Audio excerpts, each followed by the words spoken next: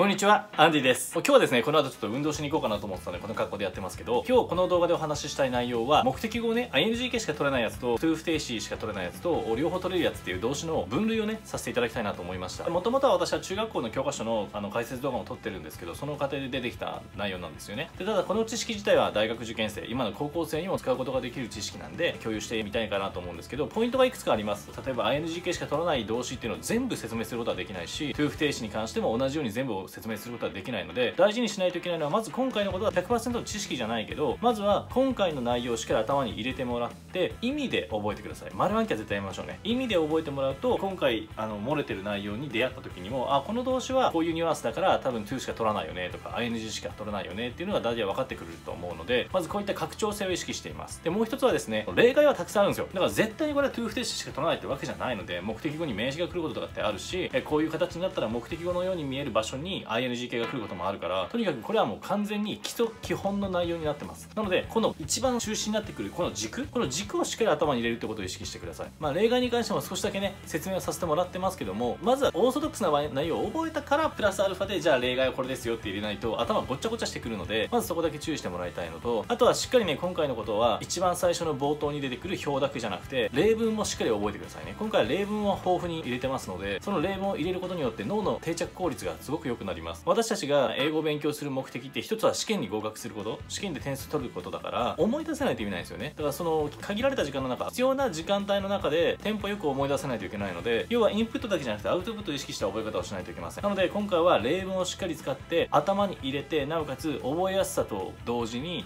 き出しやすさ思い出しやすさも考慮して作られてますので今回の動画をねしっかり1本見ていただくことで今回の動詞の分類に関しては頭に入ってくれるかなと思っています。なので中学生だけじゃなく高校生もしくはその英語を勉強してる方にとって全てにね共通して役に立つ知識だと思いますので是非最後までご覧ください。それでは本編の方行ってみたいと思います。はい、それではやっていきたいと思います。目的語に ing 形しか取らない動詞、えー、と不定詞しか取らない動詞、両方取れる動詞という分類をですね、30分で一気にマスターしていただきたいと思います。えー情報量が多いので、もし1回でちょっと苦しいなと思った方は何度かね、見てもらえたら、この分類をね、しっかり頭に残していただけると思います。それではですね、ポイントを説明していきます。えーこれからね、覚えないといけないんだけれども、それは全部丸暗記をしないということを気をつけてください。例えば、enjoy ing、enjoy ing と、decide to 何々、desire to 何々みたいなのを呪文のように唱えて丸暗記しようと思ってもダメです。で、それから例えば ing 形しか取らない動詞は、なんかいくつか出して、頭文字だけつなげてメガフェフスだみたいな覚え方をしましょうみたいなのを言われるかもしれないけど、丸暗記をしないということを気をつけてください。じゃあ、どういうところに気をつけて暗記すればいいかというと、この2点になります。で、これは意味で覚える。まあ、意味理由ですね。で、覚えるというところと、例文で覚えましょうというところです。で例えば、その拡張性って何かっていうと、意味とか理由で覚えてさえいれば、同じような単語が出てきたときに、あ、これはもしかしたら ing だよねとか、この動詞だったら to だよねっていうのが、大体類推できるようになっていきます。なので、そういった意味でも、今回いくつかあの出しますけども、その ing 形を取る動詞に共通するニュアンスってところ、意味とかっていうところで覚えてもらうと、初めましての単語に対しても対応することができるようになります。これが拡張性です。で、あとは、例文で覚える方の記憶定着率っていうのはもちろん私たちっていうのはテストとかでアウトプットして評価されるものなので、必要なタイミングで自分の必要な情報っていうのを引き出さないといけませんよね。だから、どう入れるかっていうのも、どうアウトプットしやすく覚えるかってところがポイントになってくるんで、それだったら思い出しやすいような形っていうのが実は例文なんですよ。丸暗記をした情報っていうのは、の無意味記憶って言って、あまり脳にね、定着しやすい情報ではありません。まあ、そこに意味を持たせる。なるべく意味を持った情報だと思わせることで、私たちは思い出しやすくなるので、えー例文で覚えるっていうのは記憶定着率を上げるっていう意味ではかなりポイントになります。なので、この2点をね、意識して、これからこの先の、えー本編を楽しんでください。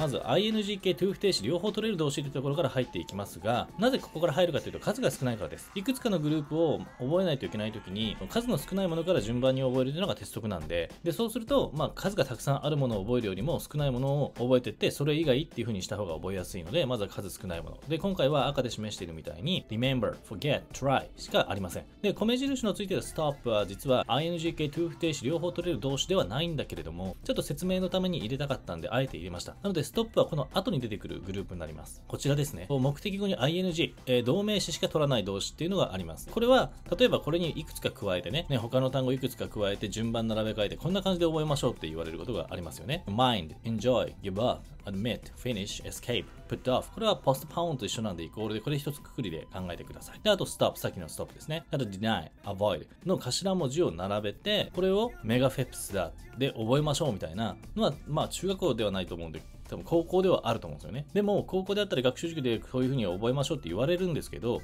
でもですよ、こんなにあるわけじゃないですか。で他の単語が初めまして出てくる可能性の方がはるかに高いでそんな中でさっきのだけ覚えてれば完璧ってわけじゃ絶対ないし今回の動画でもお伝えできるものっていうのは限られているのでどれだけ拡張性を持たせた状態でものを覚えるかってことがポイントになってくるというのがここでお分かりいただけるかと思います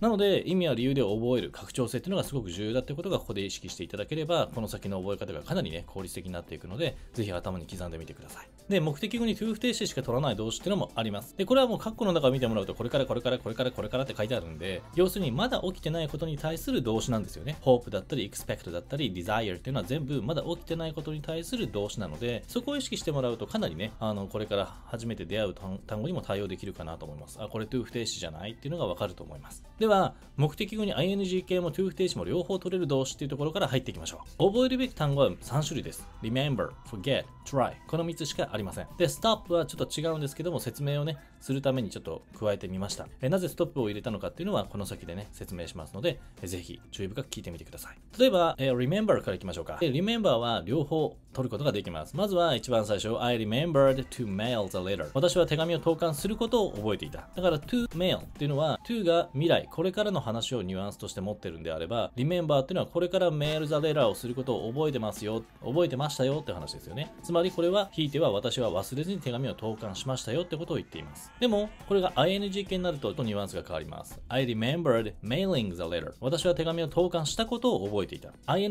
形になるともうすでにした行動について覚えていたっていうニュアンスになるので、上とはかなりね、状況が違ってきますよね。forget の方に行ってみましょう。例えば、whenever I forget to set the alarm, I'm late for school. アラームをセットし忘れると、毎回学校には遅れるっていうのがあります。whenever っていうのが毎回、何々した時はいつでもっていう話なんですけど、forget to set。で、ここはちょっと時系列的に難しくななってくるんですけど、アラームをセットするっていうのはまだしてない行為なんですよ。で、そのこれからしないといけなかった行為を忘れた時っていうのはいつでもっていうニュアンスなので、この場合も to を使うと、これからしないといけなかったことをしなかったって話になります。My mother always forgets buying a lot of snacks. 私の母はいつもお菓子をいっぱい買ったことを忘れるのっていう文章があるんですけど、この forgets buying っていうのは、もうすでに a lot of snacks を buy したことを忘れている状態にあります。なので、私の母はいつも何々したことことを忘れるんです。もう行動としてはしてしまったんですけども、そのした行動自体を忘れてしまうってニュアンスなので、上とはニュアンスがガラッと変わりますよね。それから try です。I tried to sleep, but the room was too cold. で寝ようとしたが部屋が寒すぎてできなかったという文章なんですけど、例えばこれは明言してませんよね。I tried to sleep. 私は寝ようとしたんですって話をしてて、but でも the room was too cold. 寒すぎたんです。部屋が寒すぎたんですってことまでは言ってる。でも寝ようとしたができなかったっていうところまでは言ってないって思われる方もいらっしゃるかもしれませんけども tried to sleep 寝ようとしたんだよっていうことは寝られてないんですよね結果論的に。なのでその後ろに来る理由 but the room was too cold がどうも寝られなかった理由になるっぽいですよね。だからこれは意訳すると寝ようとしたけども部屋が寒すぎてできなかったっていうニュアンスになるってことなんです。food tasted bland so I tried adding some salt、えー、味がかなり薄かったのでちょっと塩をかけてみたっていう文章になります。これは I try なんで何なんしてみようと思ったって話なんですよね。ちょっと何々してみた。っていうニュアンスをこれで出すことができると。なので、try to 何々と try ing っていうのはニュアンスがかなり違う。tried to sleep で何々しようとしたことがやってみようと思ったけどできなかったっていう話。そして、tried adding っていうのは ing 系なんでもしてしまったことなので、これはも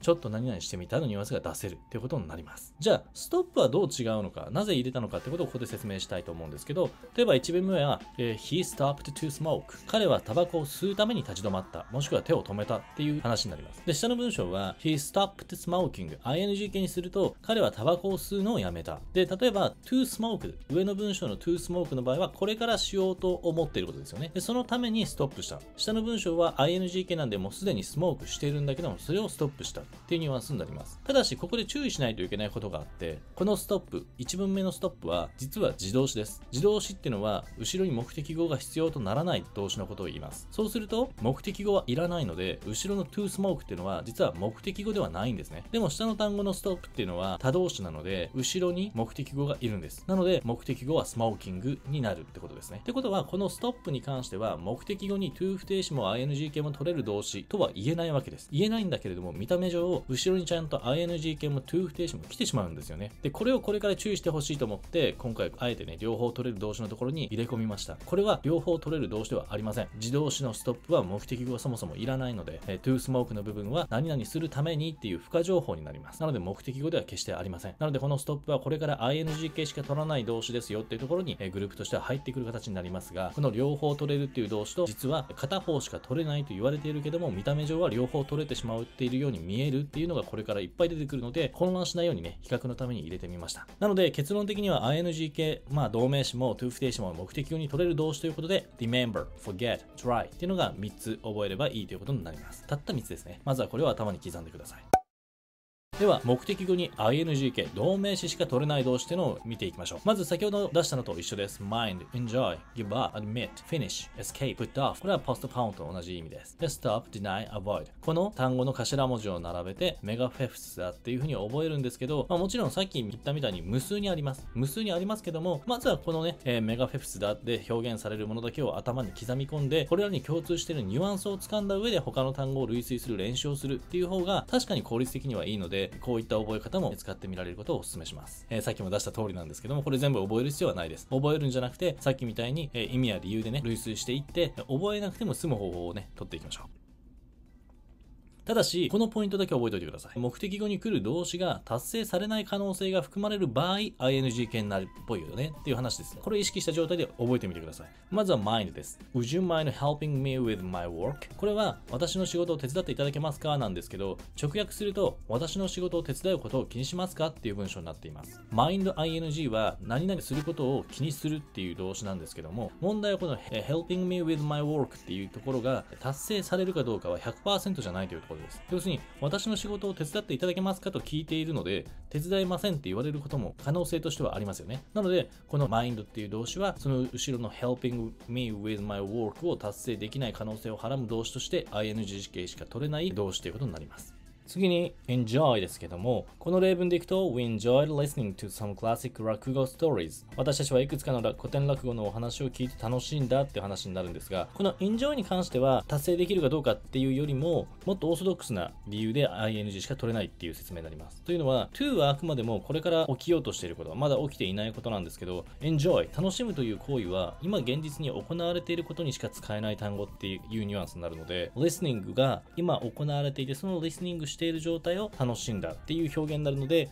enjoy に関しては ing 形しか取れない。未来まだ起こっていないことを楽しむことはできないというニュアンスで、enjoy は ing 形しか取れないということになります。で、こちらも一緒です。えー、give up っていうのは諦めるという単語で、don't give up studying English 英語を勉強するのは諦めてはいけないよという今回の例文があるんですけどもえ、この場合はですね、give up 自体も今現在行われている行為にしか使えない動詞になるので、えこの場合も to を使った未来形の話を諦めることはできないので表現としては不可能なので、え give up っていう動詞自体も ing 形しか伴わないという形になります。例えば、she admitted killing her husband あまりいい例文ではないですけど、彼女は夫を殺害したことを認めたっていうのもそうです。認めることができるのは、もうすでに行った行為についてなので、まあ、killing という行動はもうすでに終わっているもの、これが達成されるかどうかという可能性の話云々ではなく、今回の admit に関しては、起きてしまったことに対して彼女が認めるかどうかっていう話なんで、認めることができることはすでに起きたこと。なので、to 不定詞、未来の話は、まあ、例えば殺そうとしている意思自体を認めめるみたいな文章は現実的にはありえますが、後ろがもししてしまったことを表現したいのであれば ing 形しか伴うことができない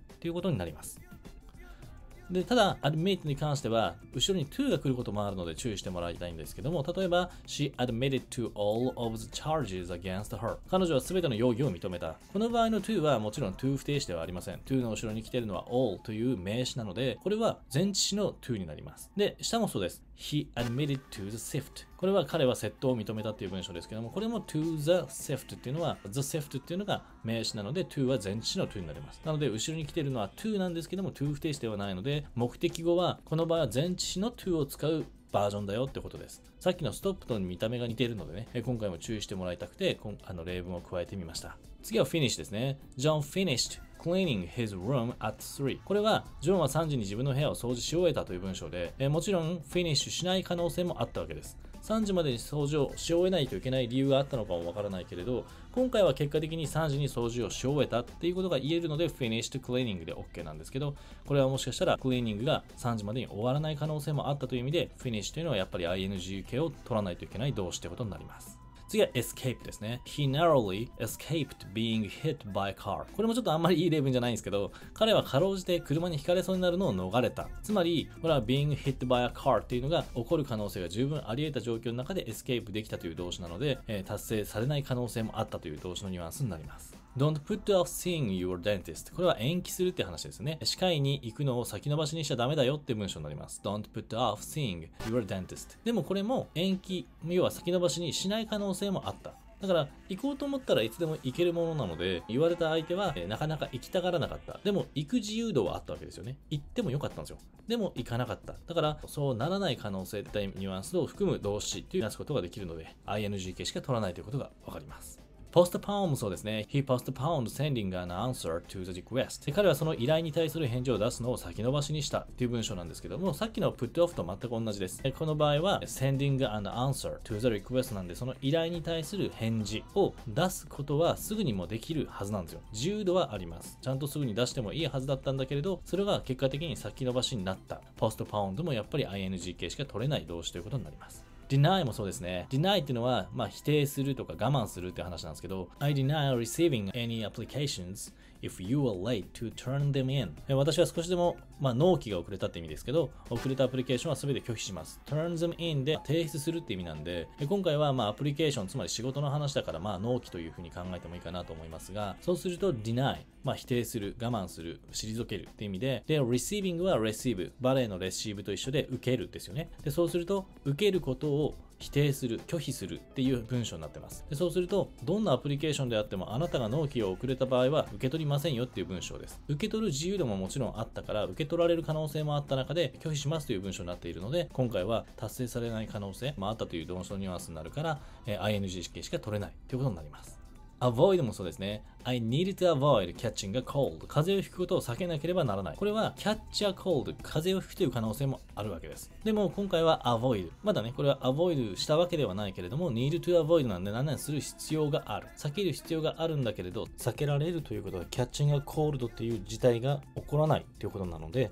この avoid という動詞はその後ろに来る ing 形の取る動詞が達成されない可能性を含む動詞として ing 形しか取れないということになります。さあ、これまで一つ一つ例文で解釈してきましたが、最終的にはもちろん、まずはね、いっぱい動詞がある中で、この1、2、3、4、5、6、7、8、9、10組の動詞をまずはメガフェプスだで覚えてしまってそれぞれに共通しているニュアンスはそれが達成されない可能性もあったんだよねっていうところまで含めていくと他の動詞でそういった可能性がある場合には ing 形しか取らない動詞だって判断ができるようになるのでまずはこの10個だけ完璧にさっきの例文と合わせて覚えてみてください。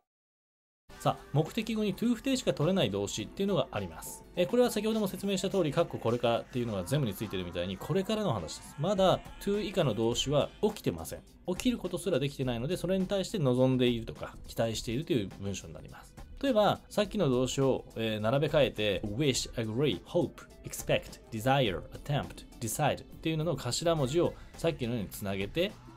えー、和平だで覚えてもいいよねとは思います。思いますが、to 不定詞しか取らない動詞というのも無数にあるので、和平ダッドをまずは覚えた上で共通するニュアンスを頭に入れたら、類推力がつきますよって話になってくるので、それぞれの例文をしっかりこれからね、頭に刻んでください。えー、例えば、他にもあるよって言ったのはこれぐらいあります。例えばこれは、さっきのも入ってますが、こんな感じであるんですよ。で、もっともっとあります。もっともっとあるけども、それぞれに共通したニュアンスがあるからこそ、to 不定詞しか目的語に取れないっていう話になってるので、英語っていうのは文法がしっかりしてるからですね、文章の法律、要するにルールが決まってるので、ある程度例外はあるにせよ、to 不定詞しか取らない動詞には共通したニュアンスが必ず込められてるので、そこを紐解くっていうニュアンスでね、これからちょっと to 不定詞しか取れない動詞を覚えていきましょう。例えば、I wish to meet with your brother できればお兄さんとお会いしたいのですが、という文章があります。これは to meet with your brother がまだもちろん達成されていない、それをこれからしたいという文章なので、wish は to 不定詞しか取れない。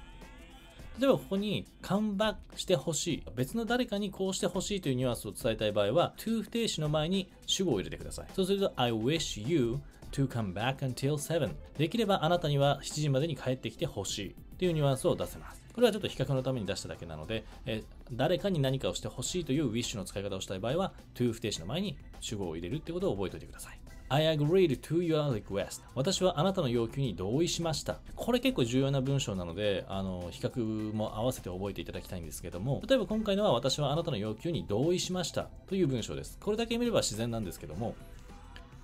I agree with his opinion on the matter. 私はこの件について彼の意見に同意します。もしくは I agree with you. 私はあなたと同意見です。この2つに出てくる with 何々という文章と一番上の to 何々の文章の違い、ニュアンスの違いというのをやっぱり頭に入れてほしいんですね。一番最初の to 何々というのはこの agree がこれから意見を同意に持っていこうとしているニュアンスが出ています。to your request に対するこの to は未来の話です。そしてそこに対して agree しているということは実は自分はあなたの意見とは違ったんだけれど、あなたの意見に同意するように自分をコントロールしますって話なんですね。でも逆に、下の agree with 何々の agree の方は、初めから意見が同じだったから、agree with you あなたと同意見です。要するに、えー、意見の出し合いの時に、私はこういう意見を、なんか A という意見を持っていて、別の誰かが同じ A という意見を出した時に、あ、私もあなたに同意見ですっていう話は、もともと私も A だし、相手も A だったんで同意してますよね。でも、一番最初の to がついてる方っていうのは、もともと A と思っていたものと B という意見を出したもの、そしてその B という意見を出したものに従わないといけない状況になった時に、I agreed to your request 同意しましたっていうふうに自分の A という意見を引っ込めて B という意見に同意しますよっていうニュアンスの違いがね、あるので、この3つのね、文章はしっかり頭に入れてニュアンスの違いを覚えていただけたらと思います。hope に行きましょう。I hope to become a soccer player. 私はサッカー選手になることを望んでいる。これは分かりやすいですよね。to become a soccer player はこれから望んでいることなので、hope はもう ing 形は取れず to 不定詞でしか表現では取れないという単語になります。expect. I expect to receive a call from some soon. これは直訳すると、サムからすぐに電話が来ることを予期しますっていう文章なんですけど、これはもう意訳をすると会話文でいけばサムからすぐに電話が来ると思いますよっていうニュアンスになりますよね。で、この時の来ると思いますよということに対する確信度合いが、え expect だったら、まあ主観が入ってるけども、確信は高い方ですよね。I expect to receive a call from サムスーンっていうのはすぐにサムから電話が来ることを予期しますというのはもう大体こういう状況ではサムはすぐに電話をかけてくる人なので経験則上主観的には彼はちゃんと電話をかけてきますよっていう話になります。でこの動詞の部分が expect からいろんな単語に変わることによってひょっとするととか絶対にとかそのニュアンスの確信度の違いを表現分けできるようになると思うので他の単語も合わせてねあの調べてもらうと面白いかなと思います。では次に desire の話なんですけども例文でいけば The Queen desires to see you at once. 女王陛下があなたにすぐにお目にかかりたいとご所望ですと。まあ言われてみたいですよね。女王陛下には会ってほしいと言われる立場になるってすごいことですけど、The Queen desires to see you at once だからすぐにしてほしいことはまだ達成されていないものなので、それを要望していると。例えばこの desire を名詞形で使うときも同じような形が取れるんですね。例えば going abroad strengthened my desire to improve my English 海外に行って英語力を上げたいという思いが強くなったという文章です。上は動詞です。下は名詞なんですけども、同じように後ろには to 不定詞がくっついて、これから何々してしたい to 以下の動詞のことを達成したい欲望であるということを表現しています。なので、名詞であろうが動詞であろうが同じようなね、文法で使えるので、えー、比較のために挙げてみました。それから attempt ですね。He will attempt to win the tournament for five years in a row 彼は5年連続でその大会の優勝を目指しているっていう話で、まあ、アテンプト自体が、まあ、この to 不定詞を取る動詞自体がもう未来の話のニュアンスだって分かってるので、そこにあえて will を入れるっていうのもちょっともやっとするんですけども、この will を入れることによって彼の思いの強さが表現できるんだろうと思っています。でそうすると、この will っていうのは文法上は未来の話、未来形なんですけど、未来形だけじゃなくて意思の will っていう見方もできるので、彼は強くアテンプトしているってことがこれで分かるわけですよね。でそうすると、for five years in a row 5年連続でっていう表現もこれで覚えられますし、win the tournament で大会の、その大会の優勝っていうことが表現できると。で、win っていうのは動詞なんで、the tournament に win するっていうニュアンスで優勝ということが表現できるっていうのも覚えられるし、まあ、attempt っていうものに will がつくと、さらに attempt のニュアンスを強められるっていうこともわかるので、この一番結構ね、勉強になるかなと思います。で、これをさっきと同じように動詞ではなくて、今度は名詞で使ってみるとどうなるかというと、This method is an attempt to improve the success rate. この方法は成功率の改善を意図したものです。っていう風になって、同じように後ろに to 不定詞をくっつけることによって、attempt の方向性が見えてきます。で、これは this method で、この方法は is an attempt 意図したものである。で、何かというと、to improve the success rate 成功率の改善。それはこれから改善しようと思っている内容なんで未来の話ですと。なので、まあ、attempt はこれからのことを企てる、計画するっていうニュアンスの単語だから、まあもちろんその起きてないことに対してしか使えない。つまり to 不定詞しか目的語に来ないよってことがわかるわけです。今度は decide ですね。I decided to stay up late tonight. 私は今夜遅くまで起きていることを決めました。っていう話ですね。もう今日は絶対寝ねえぞと。まあ今日は双子座流星群が来る日だから遅くまでね、ちゃんと天体観測したいから、もう絶対今日は夜遅くまで起きてんぞ、みたいな決意の仕方ってことですよね。で、これは決意することはまだ起きていないことなので、えー、to 不定詞しか目的語に取れない動詞のニュアンスがしっかり出ている単語になります。で、こういった wish, agree, hope, expect, desire, attempt, decide っていうのをまずは7個だけ覚えるっていう意味で、まあ頭文字をつなげて和平ダッドで覚えましょうっていうのを今回ね、締めでお伝えしていきたいと思います。で、このニュアンスをしっかり掴んで、初めましての単語、ここに書いてない単語も類推して、あ、これは to 不定詞しか取れないよねってことが分かっていくような練習をね、これから心がけていただけたら効率的かなと思います。はい、いかがでしたでしょうか？ちょっと情報量が多かったので、えー、何度か繰り返して見ていただくと、しっかり頭に残していただけると思います。えー、今回の30分マスター講座で INGK しか取れないもの、トゥーフ停止しか取れないもの、そして両方目的語に取れるものということで、たくさん単語があったものをしっかり頭の中で整理していただけたら幸いです。今回もご視聴ありがとうございました。